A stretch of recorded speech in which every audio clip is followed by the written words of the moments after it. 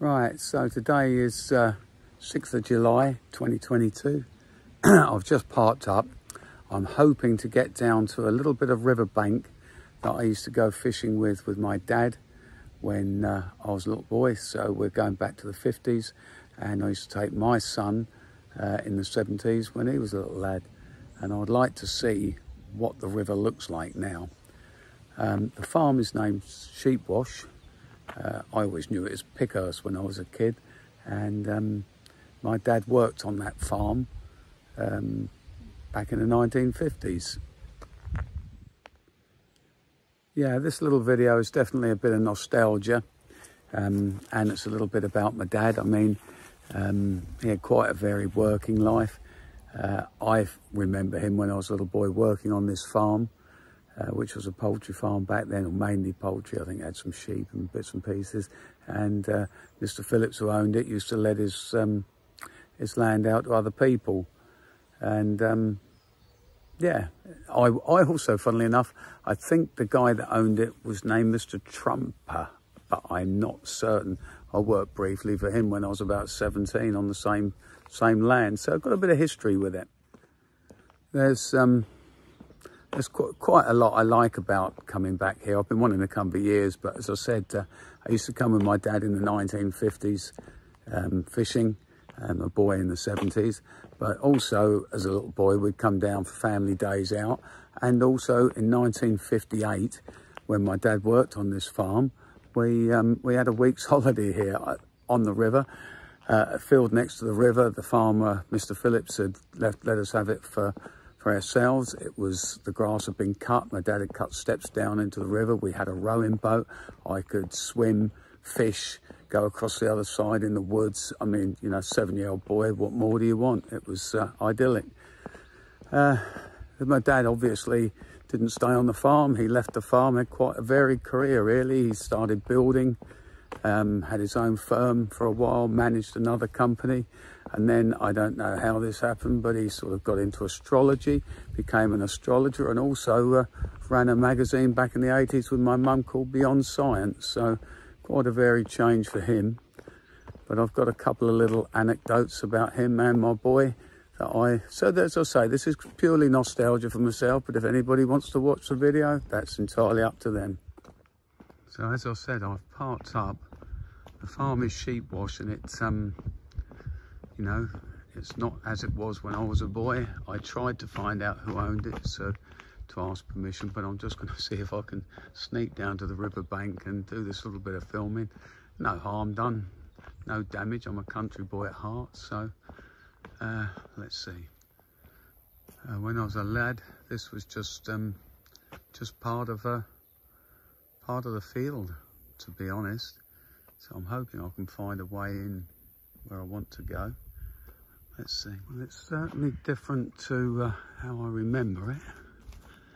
I've, uh, I've just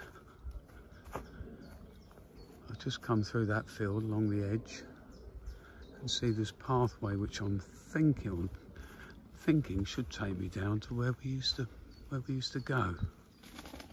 It's so peaceful as I remember it from that point of view, quiet. All this thicket, all this growth wasn't here when I was a kid. That was all uh, open fields for various things, but uh, obviously not farmed as it was. There was certainly nothing like this. And um, I'm hoping that I can get through to the particular field that I want to get to. I say this is bearing round to my right, which I prefer it not to. Right. Looks like we might be getting somewhere.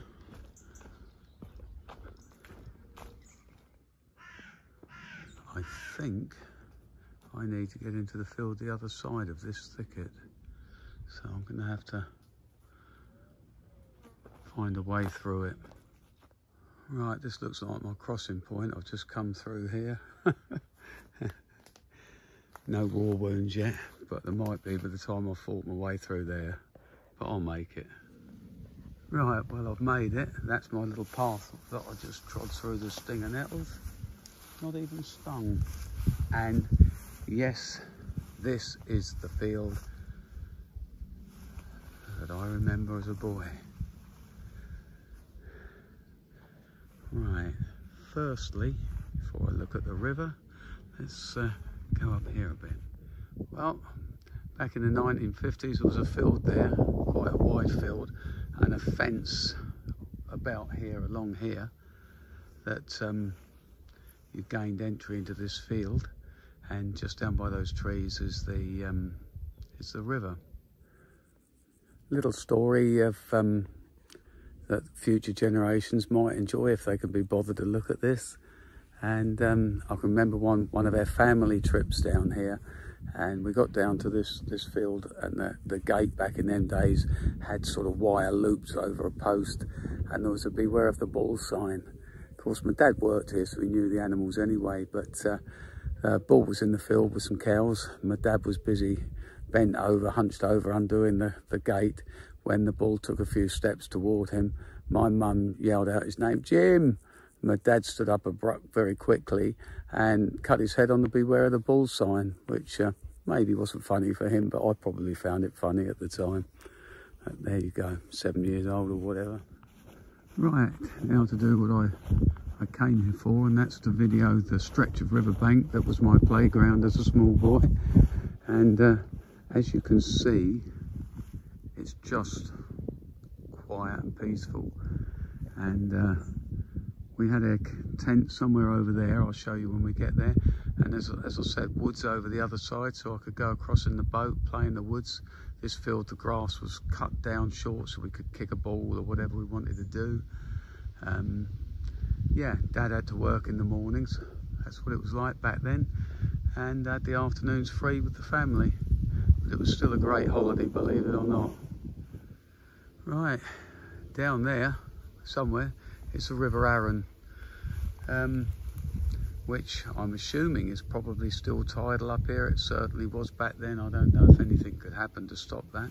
But it, it certainly, as you can see where all these reeds are, that that was river then so it's grown over back in back in them days the river board used to come up and cut the weeds back and catch them in a net it was always tidy uh, all this thicket of hedge here was was not there in fact where that ditch was that I crossed coming down there and went into the river there as a small boy um, I used to like to fish for perch there but it doesn't look like I'm even going to be able to see it today. Well, there's the mighty River Arun up here the other side of Pulborough.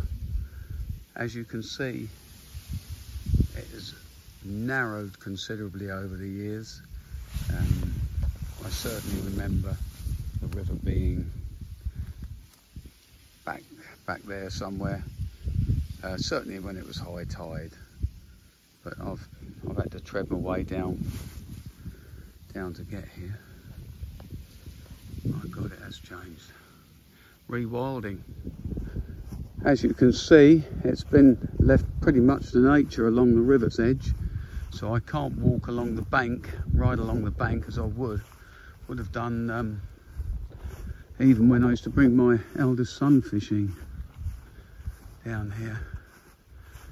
I can remember having a swim down here where this these bushes is.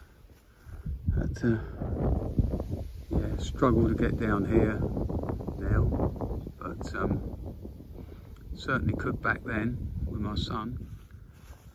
I guess uh, I guess somebody obviously likes to walk walk this field. I mean, as you can see, it's not farmed as such, but um, path there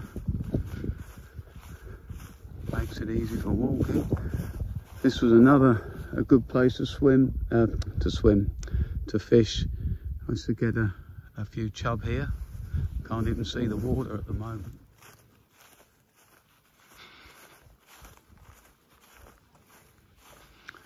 I might be able to see the river a bit better in a minute. Can just about make out the river so I used to be able to get right down to all these places along here, but it's obviously been left for rewilding, which is lovely for nature. But it shows how the river courses change. And change they do because the uh, River Arun hasn't always entered the sea at Littlehampton, as I once thought. It, um, it used to work its way east and uh, ran into the River Adur somewhere near Lancing and went into sea there. Then they broke away. The Adur went east and uh, the Arun's made its way west. But of course, with all the modern, um, you know, along the waterway, say at Littlehampton and, and Shoreham and all these places now, there's plenty of concrete and things to keep the river on course. But as you can say, when you get into country and uh, people have left it to nature, it changes. Completely different.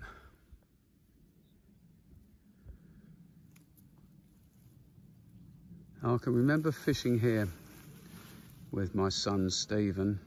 I don't know if you'll watch this, Steve. Um, I'm pretty sure we were sitting somewhere down here when that massive thunderstorm broke out.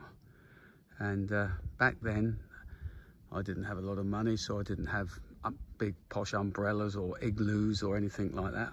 I had a black oilskin coat, jacket, and um, I had external toe cap boots because I worked at the brick face at the brickyard at the time. And we were sitting here and the water was way, way back in here somewhere. And uh, tide was coming in, water was sort of moving up to our feet and uh, the, the rain was lashing down, the lightning was flashing and uh, the boys huddled with me under my oilskin jacket and he pointed out that uh, I had steel toe cap boots which would conduct the lightning quite well. I don't know whether it was wishful thinking on his part. it's certainly almost unrecognisable from uh, from when, when I came in the 1950s and the 1970s, but I can't believe how much it's changed. Just can't get close to it. I do believe that, um, and I'm pretty certain I'm right, that the, the River Arun was once called the River Tarrant. Uh, that may have been when it um, flowed into the Adur. And um, yeah, uh, if you do the walk from Amberley to Arundel along the riverbank and you cross the Gurkha Bridge, bridge, I'm pretty sure that Gurkha Bridge is over the old watercourse of the Arun. This bit here that I can't get anywhere near, used to get some nice rudd and roach when I fished here as a little kid. Well, it may have been by this tree. Clouded memory. Obviously, with the tools, I could get down to the river, but um, as it is not my property. I'm not going to do that. I'll try and leave it as I found it. but it's grown, just grown and changed so much. Now, this is the bit that holds all the real memories. Nothing like it. This is where we had our tent pitched in 1958. And this piece here, if anybody has seen the photograph, I posted it on the Pulborough Facebook page of my dad fishing this is exactly the spot he was fishing. And uh, we had steps cut down to the river then and uh, his rowing boat, etc., etc. But I mean, I don't know if I'm going to get close enough to even see it. Well, I couldn't really leave today without coming down to the bit where we'd camped and this area here is where probably where I learnt to swim to be honest um, it's so narrow now. What what I'm standing on down here was was part of the bank, part part of the river back then, and um, somewhere where those those rushes, uh, not rushes, those are standing up there is probably where my dad was had his boat, and somewhere about here is where he was was in that photograph of him fishing down here. Um, he's had some good pike out here. Actually, another funny little story for my grandchildren. Um, when we were on holiday, so I'd have been about seven, and my dad had a pike rod set up in his rowing boat, which was, as I say, moored up about there somewhere.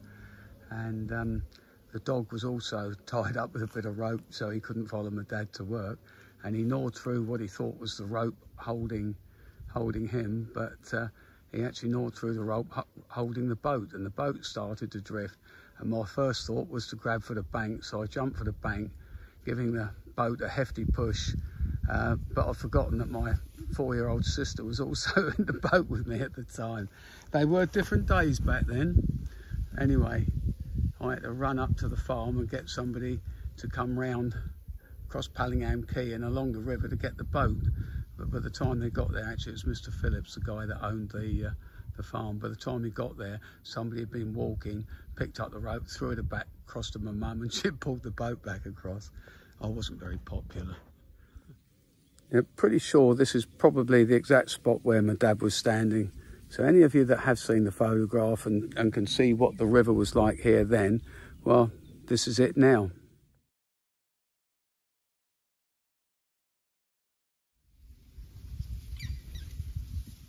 Whatever you want to say though, it's beautiful, peaceful.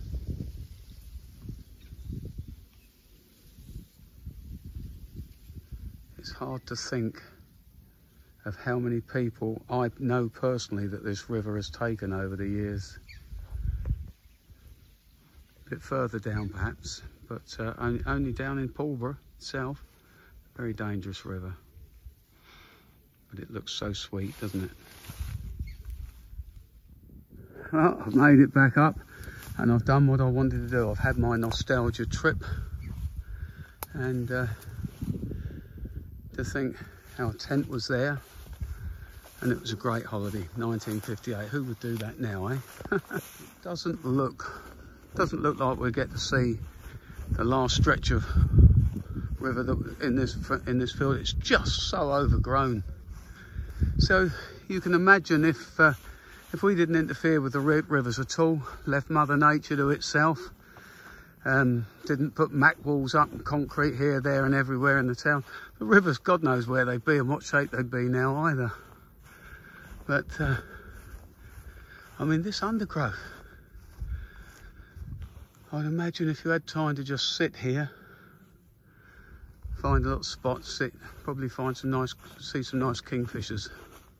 Right, this is the uh, the end of this particular field, and then it, it went on to somebody else's farm. I don't know who owns that. I don't know who owns any of it now. But this section here, from probably, well, from this fence and um, to about there somewhere was completely clear and open and it was sloped down and if there was cattle in the field they used to go down there to drink so it hasn't been touched here for some years that's for sure well that's my nostalgia trip I think unless I see anything else on the way back to the car I seem to have uh, hopefully found myself a better way back to the car but uh, just thought I'd do a little bit of the scenery. Now, I certainly don't remember this being here when I was a kid. I guess it must have been, but... Hmm.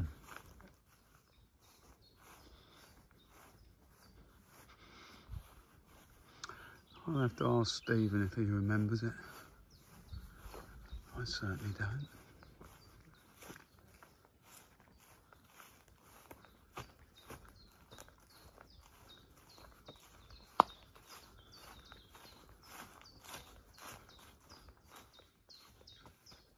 Oh, it's just beautiful. I'm glad I walked back this way. Perhaps I always came down a little to my left, i.e.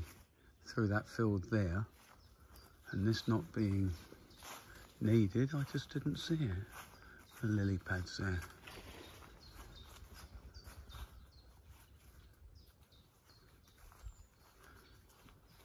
Just beautiful.